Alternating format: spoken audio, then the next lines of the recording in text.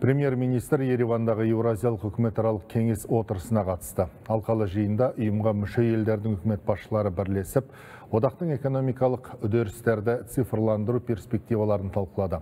Олжас Бектенов мемлекет басшысы Қасым Жомарт Тоқаевтың Еуразиялық экономикалық одақ шеңбері аясында цифрландыруға ерекше көңіл бөліп отырғанын айтты. Және мемлекетаралық деректермен электронды құжаттар алмасуға мүмкіндік беретін одақтың интеграцияланған ақпараттық жүйесін толық енгізу қажеттігін атап өтті. Сондай-ақ отырыста сауда, көлік, логистика және аграрлық өнеркәсіптік кешен салаларындағы өзара іс-қимылды одан әрі нығайту шаралары қаралды.